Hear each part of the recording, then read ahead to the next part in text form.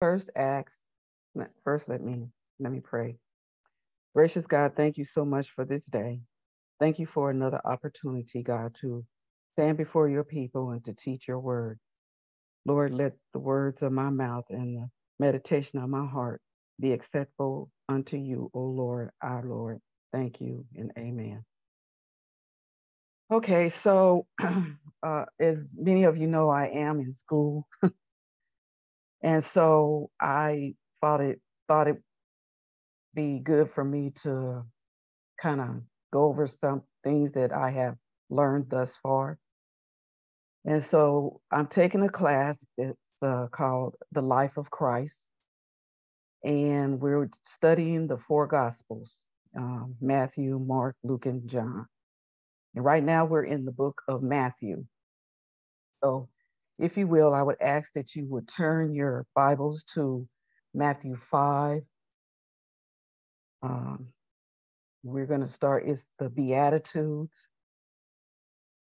Matthew 5, and we probably won't be able to get through all of them tonight, um, but we're going to do at least four of them, the Beatitudes, because I would like feedback. I would like, you know, everybody to join in. If you have something to say, say it, you know. So, um, so in the book of Matthew, there are five uh, discourse that talk about the life of Christ. So tonight we're going to, like I said before, we were we're going to discuss the first discourse. And I'm sure Reverend Hancock and Reverend Thurman know what I'm talking about. Um, I never knew that uh, this was to be true. You know, I just you read Matthew and you go through and you you never know that it's broken down into sections. But since I've been in class, I have learned this, and so uh, the Beatitudes is part of the discourse that we're going to talk about tonight, which is the first one. And uh, it's good here in um, this uh, section, uh, it will reveal uh, eight qualities of God's blessing meekness and mercy, poorness in the spirit and pure, and poorness in spirit and purity of heart, mourning and hunger, peacemaking and persecution. And like I said earlier, we probably will not get to do all of them, but I pray that you will be blessed with what I have thus far.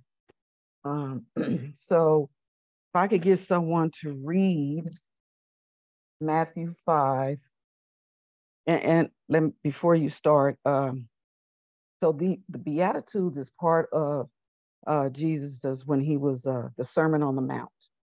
And um, in this part, he, you know, he decided is part of his teaching on the kingdom. And so um, you can see that the first uh, of this is the five books uh, is about Jesus. The first five discourses are about Jesus's life. And one of them is the Sermon on the Mount. It's called uh, Jesus' in, inaugural address. And um, so, like I said, he, I'm a little nervous, so please, please, you know, bear with me. uh, I just thought it was interesting for to hear this about Matthew. Um, like I said, I've never seen it broken down like this. And when um, my teacher got to talking about it, and I was like, I was just in awe. I'm like, wow, really? So, like I said, if I could get someone to read Matthew 5, and you can go ahead and start with one, verse 1, um, and read, we're going to do, read to verse 6. Yeah. You said Matthew. Matthew verse uh, chapter five. I'm sorry. Uh, start with verse one, and go ahead and read. You can go ahead and read all of them, but we're not going to do all of them. So read. Okay. Matthew, I think it's I'll, one through I'll start. So one through six. Is that what you? Yes. yes. Okay, I'll start. Uh, one day, as he saw the crowds gathering, Jesus went up on the mountainside and sat down. His disciples gathered around him, and he began to teach them. God blesses those who are poor and realize their need for him. For the kingdom of heaven is theirs. God blesses those who mourn, for they will be comforted. God blesses those who are humble, for they will inherit the earth. God blesses those who hunger and thirst for justice, for they will be satisfied. Okay. So each of these have um, a meaning. You know, it said, you know, God blesses those who are poor and realize their need. So uh, when uh, we were talking about this class, um, it's it was saying that blessed are the poor in spirit, for theirs is the kingdom of heaven. The poor in spirit are those who feel a deep sense of spiritual des- destitution. I'm sorry, and comprehend their nothingness before God. The kingdom of heaven is theirs because they seek it and therefore find abide and, and find and abide in it. And you know what abide means. Abide can also mean remain. Uh, to this virtue, it, it is opposed the pride of the Pharisees, which caused him to thank God that he was not as other men and to despise and reject the kingdom of heaven. There must be emptiness before there can be fullness. And so poverty of spirit precedes richness and grace in the kingdom.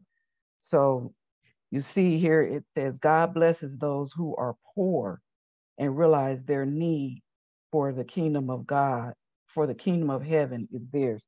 So God blesses those who depend on God. And anytime anybody want to ch- chime in, I welcome that.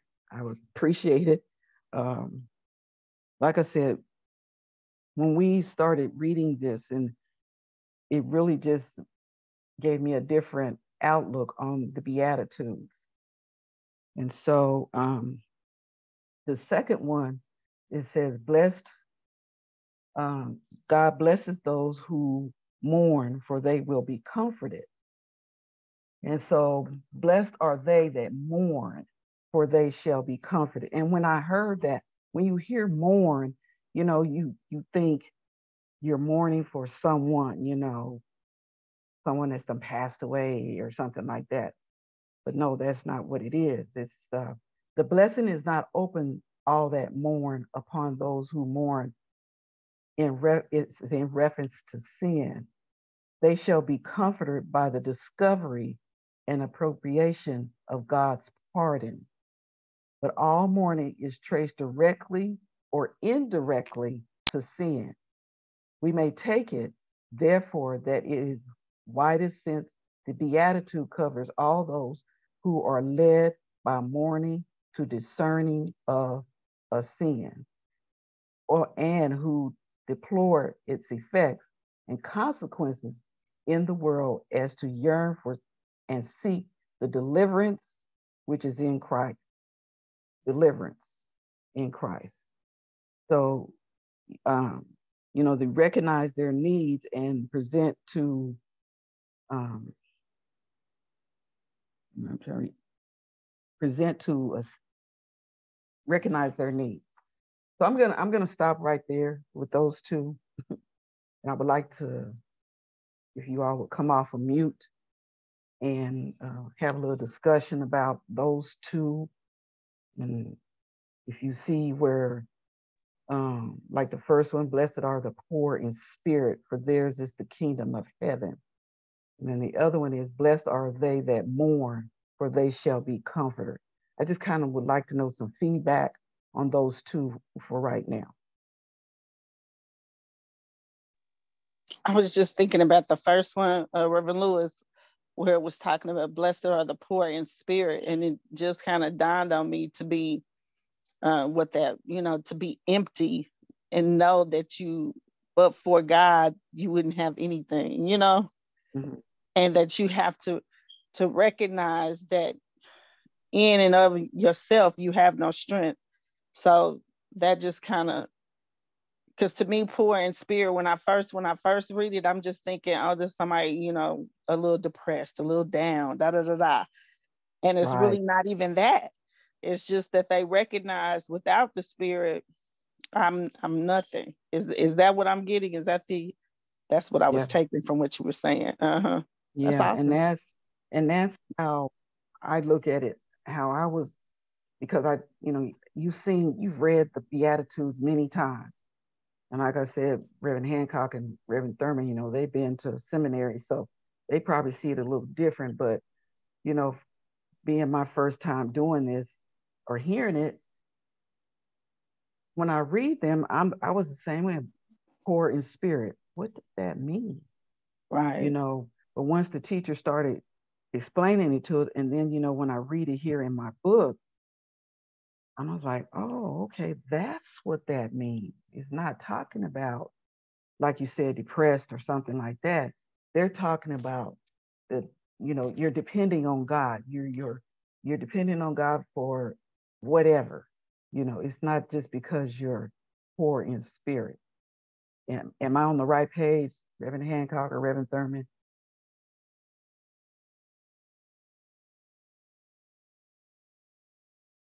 Not. Okay. Can Can you hear me? Yes. Okay. Um, since you're bringing up seminary, I'll talk talk from from that perspective. Okay. Um, there's a kind of theological debate as far as what the poor in spirit means. Um, and I think this is also in conjunction with our sermon series when it says the spirit of the Lord is upon me, for he has anointed me to give sight to the blind and set the oppressed free. Okay. You know, in the in the white world, they see this as um, simply a dependent on the spirit, um, devoid from economic poverty. Mm-hmm. So they could, so they use it as just, so they use it as a, an opportunity to devoid their teaching, theology, ministry, um, that it so that it does not offer liberation for the poor, but be very clear that uh, poor in spirit is, all, is is not just spiritual poverty, but it's financial, economic poverty. Um, this Jesus, you know, again, is on the side of the oppressed, and his ministry are for those who are um, in in both spiritual, physical, mental, and economic poverty. So, what I, what I'm saying is, you know, let's be clear that that's a part of the conversation too. That it's a dependent upon Christ for uh, our spiritual salvation, but also He has promised to give us life uh, in this world too. Um, so you know in, in i don't know if that's a in your own classes if that's something that is stressed but you know in the black community you know um, that that our mission is to support those who are economically challenged because that's where most of us are. How does god speak to the oppressed? How is god how does the gospel speak to me? I, I, you know you can say this and that but if i don't have food on my table Mm-hmm. I'm hungry, I can't hear right. what you're saying. Because my stomach is growling. right. so that is a part of the conversation that I just wanted to kind of throw in there, you know, in, in terms of Black theology, that we see this as all inclusive, you know. So. All right. And, and that's that's why you know I I said I, I I picked these because it seemed like we did these once before, but now that I'm now that I'm in class, you know, it's like, okay, I need to, you know, see that I make sure I'm getting a clear understanding of what the Beatitudes are and what they mean. Um, someone sent me a message and said, blessed, it says for the first one, Blessed are the wails of your heart, for God hears them. The wails of your heart, because, because God hears them. So um, it does, and I do have here in my notes, there must be emptiness before there can be fullness. And so poverty of spirit precedes richness and grace in the kingdom of God. So I think I'm on the right page. um, okay, so the second one was, uh, um, what was it? Blessed are, the, are they that mourn, for they shall be comforted. So, um, anybody, like you say, you know, when you hear that, when for me, when I first heard that, when they say mourn, I'm thinking like someone mourning over someone's death or something like that. But here it's saying in reference to sin. So now that I don't I don't understand necessarily, but I, I guess that there are points that you can mourn over everything, you know what I'm saying? But mm-hmm. uh and, and, you need a comfort in knowing, you know, and, and you can mourn um a sinful life, you know what I'm saying? And and and need comfort in that.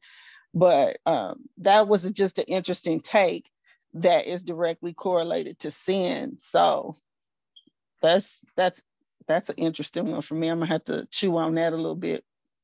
And, and here in my notes it says, but all mourning is traced directly or indirectly to sin. So um yeah, that that's a little tough for me because uh I, I think I found I think I found uh well first of all good, good evening by the way. I would just change my name because because Black History Month. I just want to be funny, so so just just ignore me. Um, so like when you said the directly indirectly to sin, um, it kind of it's hard because it's like you see people who are innocently killed and their parents are mourning. So is that a is that a indirectly sin? Is did their parents indirectly sin, or did they, the person their themselves directly sin they they got killed, or they were just an innocent bystander? You know what I mean? Because um, I saw something in Indianapolis where, you know, this kid he was uh 17. He um, I posted my Facebook page. He was 17 and he um was an entrepreneur and he would bring fruit to the community. And, and somebody took his life and he like had so much going for us. He was only 17. Um, I don't know. That'd probably be a question for Reverend. I guess it's indirectly sin, uh, because yeah, yeah, because sin caused that situation. If we're gonna go on the context of what you know, you bring, you know, what was discussed there, but like I said, I'm gonna have to chew on that one a little bit more. It's kind of, kind of, it uh, rests on my spirit right now. Yeah. Um, I can add to I can uh, add to the comment. Is that's okay? Yeah. Uh, it, in my own studies, um, both in my own personal biblical studies and in the seminary studies, you know, I see this. Uh, to me, there's a there's a debate over what this means in the white community versus the black community. All right, the white community, the white theology wants to take this and make it devoid of the black experience. And for me, this text speaks directly to the black experience. Jesus is like a re- revolutionary. He's coming in and breaking down doors and breaking down principalities and powers. And he's turning it on its head. Originally, uh, well, people, you know, people who are poor are, are marginalized, pushed to the edge of the to society and seen as nothing uh, and have no value. But Jesus comes on the scene and said, No, you're not cursed as society says you are, but you're blessed. Blessed are those who are poor. Right. All right. And, and, and see their dependence upon God, for the kingdom of heaven belongs to this. Blessed are those who mourn, who've, who've had a, a, a, a, a loved one or or see people in your community marginalized or wrongfully shot or wrongfully hurt blessed are you you know um, jesus is trying to uh, bring some level of of of of, of understanding and power, and he's uplifting a community that is that is normally downtrodden and seen as worthless. But Jesus here, in, in my again in my own studies and what I've seen here, is empowering a people to say there's more power than you think you know. That God sees you, God knows you, He sees your crying, He sees your pain, He feels the things that you're going through, and and and um, that's the that's the work of Christ to turn to uh, shift the powers from those who are lording it over people and to giving it to those who are powerless. Uh, for me, I see this text as, um, yes, including those who have lost a, also those who have, who are, you know, who may be into sin, who may be uh, have temptation or fallen into sin as well.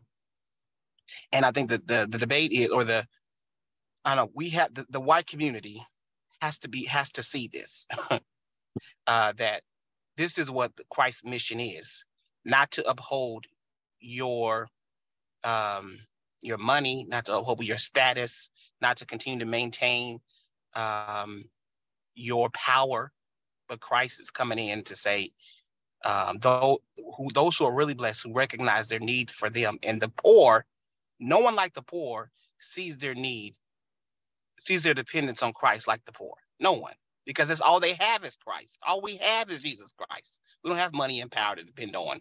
All we have is Christ Jesus. Um, and those who have faith and depends on him are those who are really the ones who are blessed and are close to God. So I know I said a lot. I'm sorry, but I okay. That's kind of this is kind of what I've been studying and talking about. And, yeah, that makes sense though.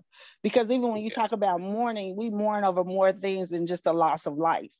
You know, we mourn over the loss of, you know, many of us are, you know, uh, or in our community, we do, we've lost so much more than just life, you know, in, in certain things and we mourn not being able to maybe care for our families or not being able in such a way you know? So i guess i can understand when you talk about it from that slant.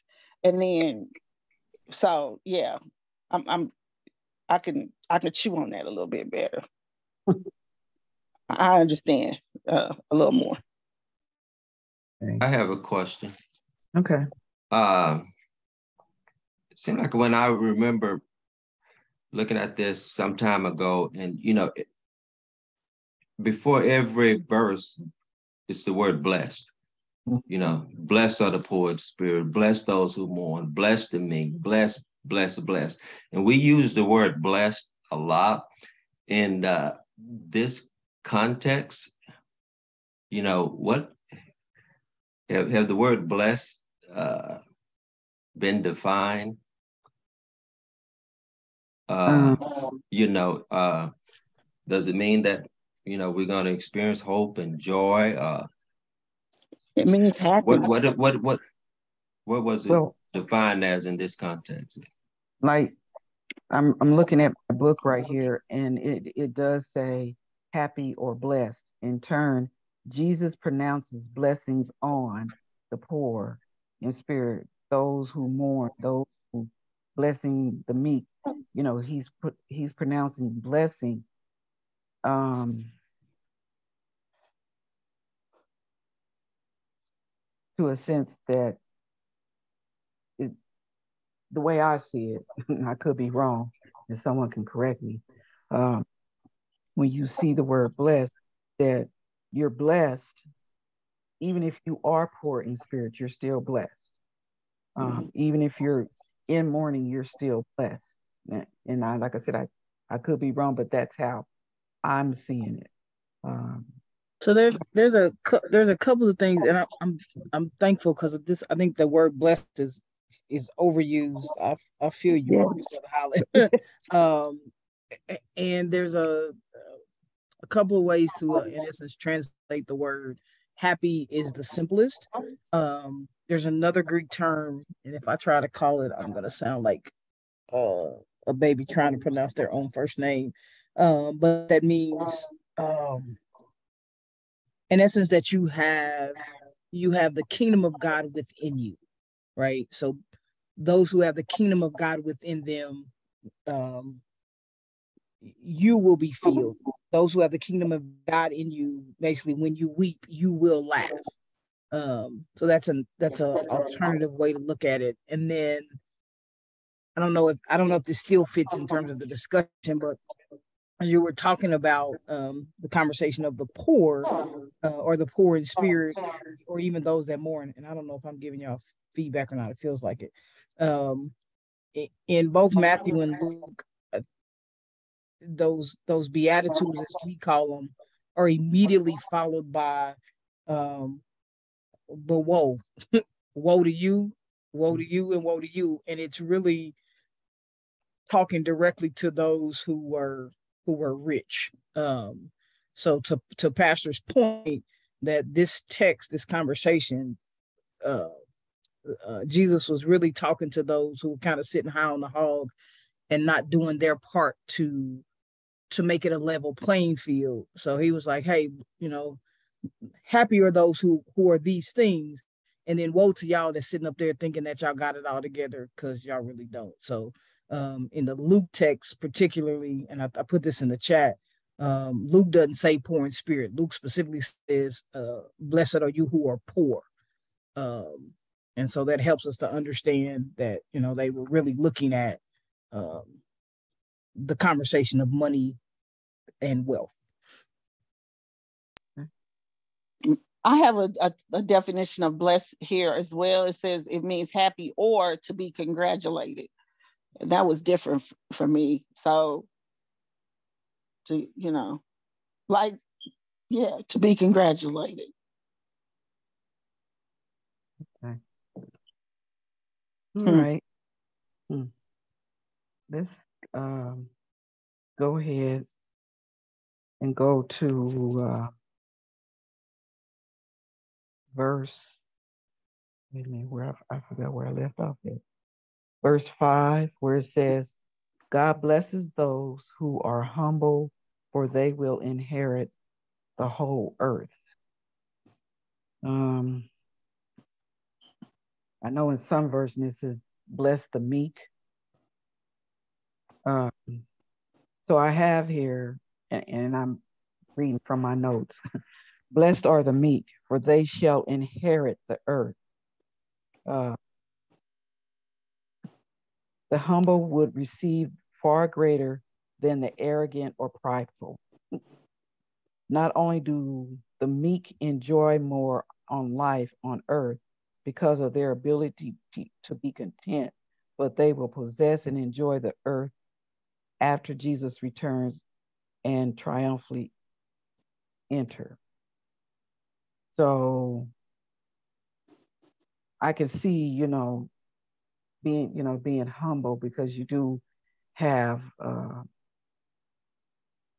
like like Shannon was talking about uh, uh, the rich think they got it going on and everything, but here we are, the poor, we're kind of content in what we're what we have, mm-hmm. whereas you know you if to me it, it's and I know I keep putting myself in it. Maybe I'm wrong for doing that, but um, you gotta put yourself in it. Blessed, blessed are the meek. Congratulations to, to the meek. Uh, the humble. You have to be humble. You, you know, Paul talks about being content in whatever. You know, uh, we was having a conversation in class last night about how the world, how people live in the world, and you know they're wanting to be have a fashion statement. You know, I got to have the latest this and the latest that, and but to me, you know, you have to have the ability to be content with what you have. Because everybody, you know, I think my granddaughter told me this one time when she was here. You know, when you're materialistic, you can't take none of the stuff with you if something happens to you. You're gonna come, you're gonna leave the same way you came. And when she said that to me, that just kind of blew my mind. I'm like, whoa. you know, so content, the ability to be content with what you have.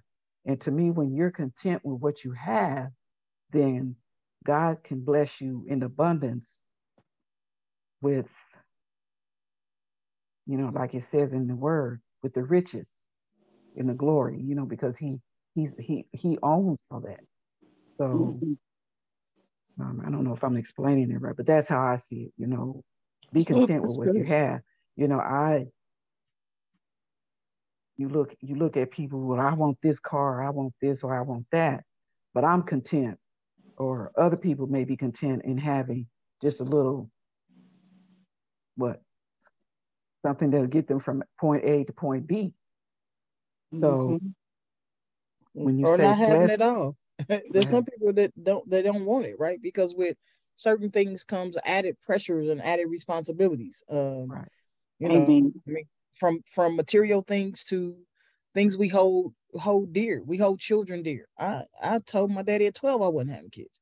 Like I knew that that was a thing. I don't know, maybe me and God talked about it, right? But I I hold dear children, um, but that don't mean I, I'm I'm having them or I got to go get some or I got to be able to claim them. You um, got a whole bunch of kids, Shannon. Hey, y'all take these suckers back. I'm tired and my pockets are struggling. So y'all take them back.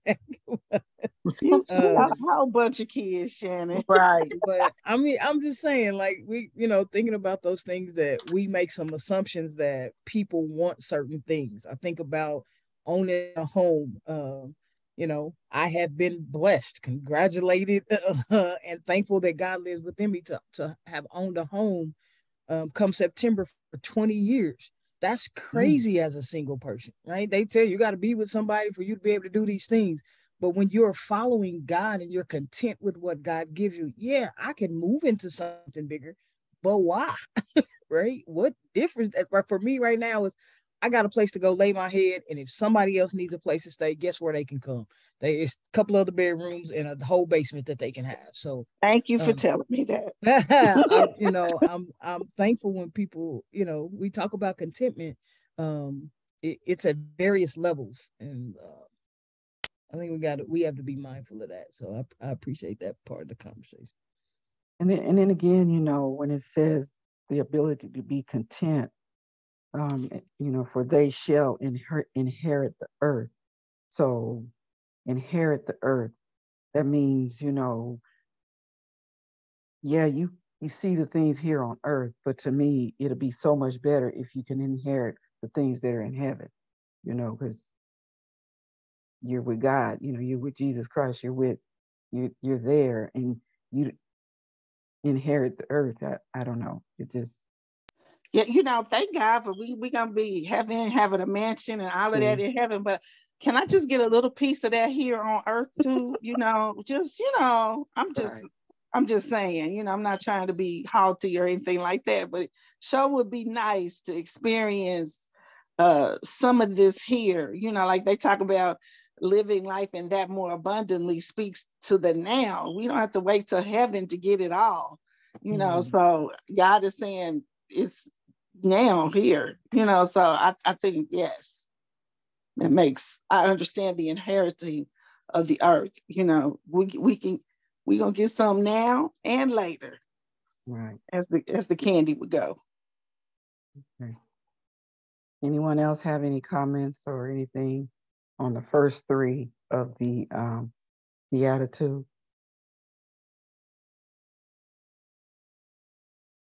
Okay. Well, the next one is uh, God blesses those who hunger and thirst for justice, for they will be satisfied. I'm sure it says something different, maybe in other translations. Um, so, my fourth meaning for that is blessed are they who hunger and thirst for righteousness, for they shall be filled.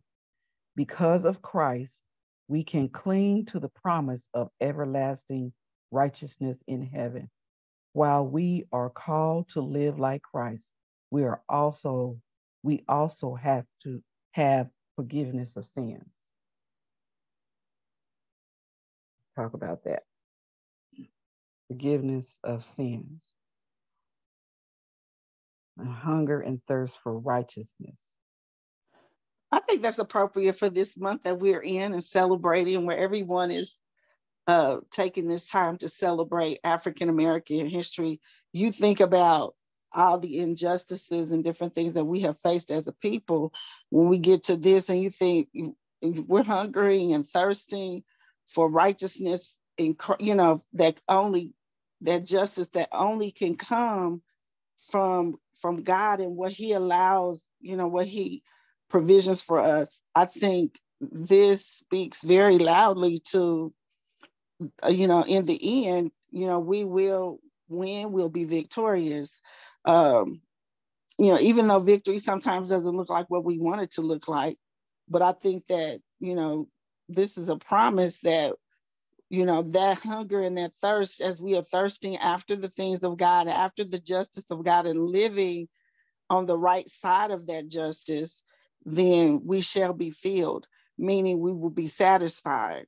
And so mm-hmm. I think that that's an awesome sentiment to, you know.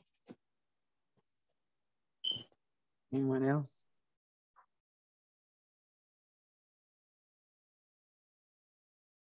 We can cling to the promise of everlasting righteousness in heaven. Um, Righteousness means right standing, I do believe. Uh, so, right standing in heaven while we are called to live like Christ, you know, we also have forgiveness of sin. So, in the process of living like Christ, we not saying that you're just supposed to give, go out and sin purposely, but we also have the forgiveness of sin from Christ salvation. That's what I see in that part right there salvation. I'm gonna I'm gonna push the Bible scholars on here a little bit, and y'all help me because, uh, right? So we talk about this conversation of righteousness, um, and we can only be made right. We are only made right because of Christ, right? Lisa, that's what right. you were your reference. Um, and so when it comes to living righteously, how would we, and I'm, I'm got my mind on discipling folks, how do we talk to people about living righteously if we are only made right by the by the work of Christ on the cross? How do we live righteously? Hmm. I think part of this is um what we always talk about here in St. Matthew is um having you know your witness be kind of like the way you live your life. Like you know a person who is a non-believer a person who doesn't believe they they may be the only bible i, I know that's so cliche to say but like they may be the only bible you see. And if you live in righteously it's like you know what? Sam is really a nice guy. I wonder i wonder why he's always so humble. Then you know that gives me a chance to say uh because um I'm I'm humble because Christ redeemed me, and my standing with Him is make me righteous. It's been and like, you know, I'm not always perfect, but one thing I know that you know, I'm covered for grace, but that doesn't give me the excuse to you know keep on sinning, as it says in um, Romans what eight one or something like that. So yeah.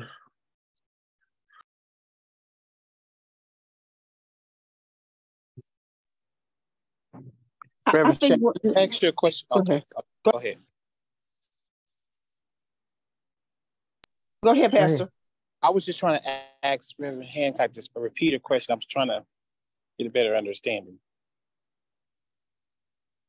Um, so, and and I'm I'm struggling with the question because I've I've kind of struggled with this for a while. I probably just need to do some some deeper studying. But when we talk about righteousness, um, we are made right by the work of Christ, right? We can only be seen as righteous by God through through like God looking at Christ on the cross, we are made right. And maybe I, if I'm misunderstanding that, that might be why I'm getting thrown off.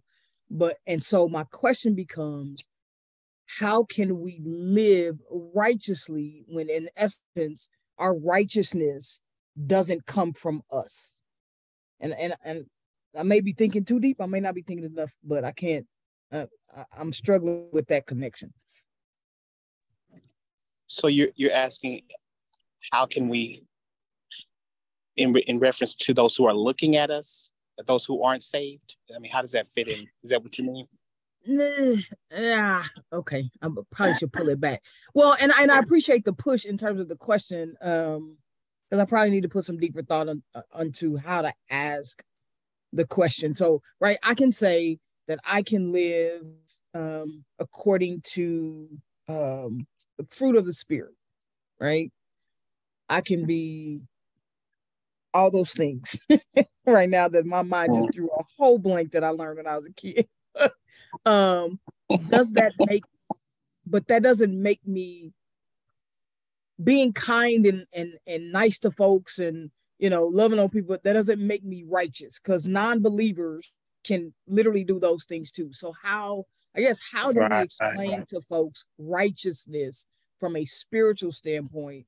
Um, so that it makes sense makes sense and it it recognizes that it ain't really nothing you can do to get you into heaven. Because sometimes we take, oh, he lived a righteous life, he going to heaven. What does that mean? What does that look like? Mm-hmm. Yeah, yeah, yeah. Yeah, I, I, I think that you're right as far as our righteousness only comes from our um, belief in Christ and Christ washing our sins and, and, and all of that. I'm with you there. Okay. Um, I would say that our righteous living comes out of that righteousness that mm. is because when we accept Christ, then our his spirit comes with, within us and then it changes us. It causes us to want to act right. That's what God's spirit does. Mm. It, it it it makes us whole, it makes us better, it makes us want to live differently, act differently. And we don't act differently because we're trying to necessarily because we're trying to be right. Um, but I think the correct posture would be that the spirit of the Lord is causing me to act differently. And therefore, that's how I act differently. And then it was also explained to me that when you do act differently, that is a witness to others. When people see you not reacting the way someone else will react, it says something and that draws people in to to the way that you live. It is the witness. So we don't necessarily try to be right because it, uh, at the end of the day, it's the spirit of the Lord that makes us right and and and, and convicts us to, that's kind of what I think. I don't know if that helps or hurts her. It, um, it does. I think as you were talking, I got right. Um, sort of right living is empowered by the spirit. Yes, ma'am. Yes, ma'am. Okay. I'll. I can sit there for a minute. Thank you. Yeah. okay, and I kind of want to. I know I'm reading out of the book, but it says um, here, but this doesn't mean this doesn't mean they're free to do anything they want. Rather, in Jesus and in the Spirit, they have been introduced to an even deeper understanding of God and his righteous requirements. What's more, in Jesus, they have received redemption and forgiveness of sins, and in the Spirit, they have been given the ability to live righteous lives that are pleasing to God. I don't know if that. I guess that out confirms it. Yeah, I couldn't have said it better. Praise the Lord. No, um, yeah, I like how you said it, ability, because we can't yeah. do it without. Can't live right without. right. It, it right. gives us do right. So, so yeah. I just saw that in the book.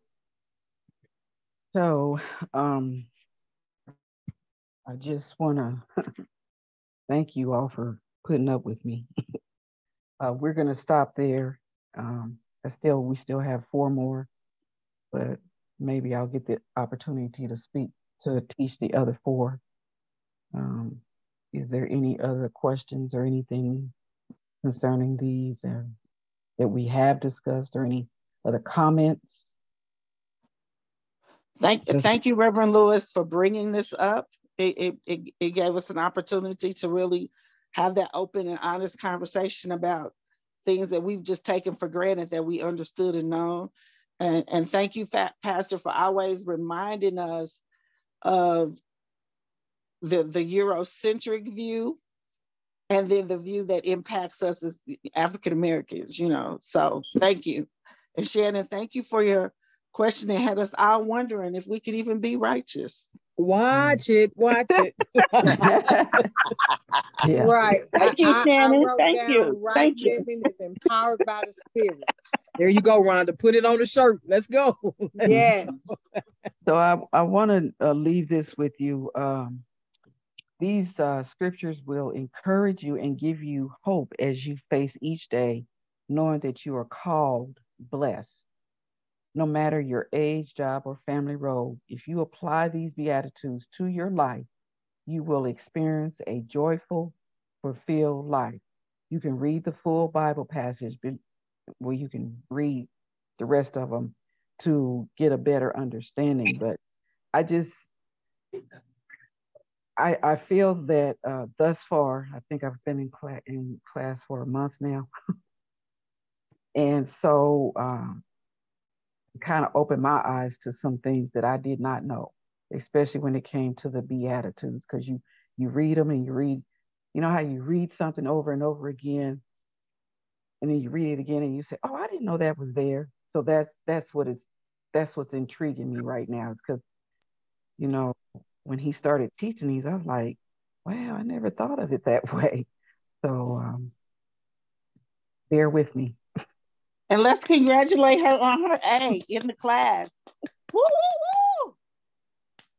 I don't know about all that, but you no. girl, you earned that. So we thank you yeah. for even going. A lot more to learn. And like I said, I did not know that Matthew broke down like in five discourses. I just did not know that until now. But each one has a different topic you know, like the uh, the uh, beatitudes and the different things that Jesus did, but it all breaks it down to how he how he, about his life as he went through. So I'm excited. Pastor, was you going to say something?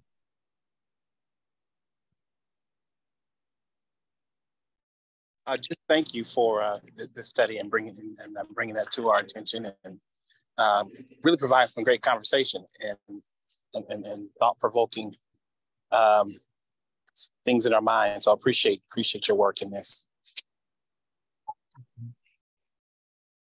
Uh, Reverend Hancock, can you close us out in prayer, please? Yeah, I sure can. Um, thank you, oh God, for this time of gathering for a space where we can um, uh, hear, read, study, uh, even in some places, and wrestle, even God, with with your word.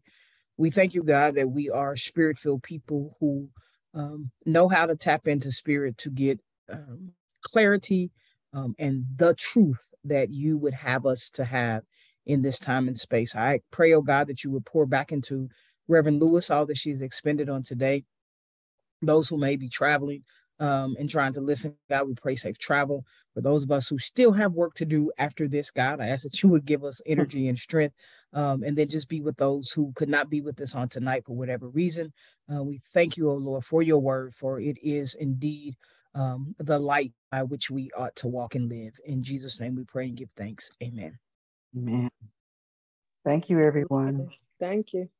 See y'all Sunday. Uh-huh. Have a good evening. Too. Thank, Thank you. you. Thank you.